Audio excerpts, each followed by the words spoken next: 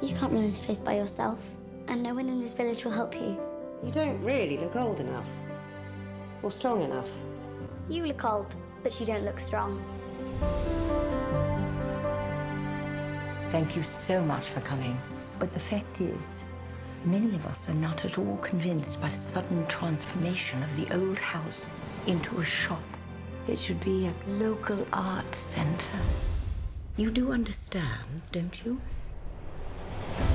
Dear madam, no one has plucked up courage enough to sell books in this forsaken coin of the world. My first customer. He so jealously guards his privacy after the tragic death of his beloved wife. Lolita. This book is already famous. Everybody's heard of it. You've really lost your head over this one. The current state of your window display is attracting undesirable attention.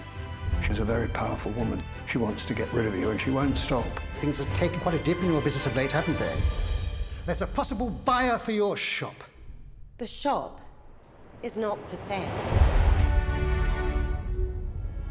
Let me tell you what I value most about human beings courage.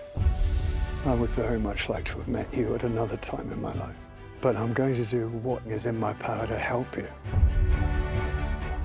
It's fun working here, in the bookshop with you. Well, there's life, there's hope.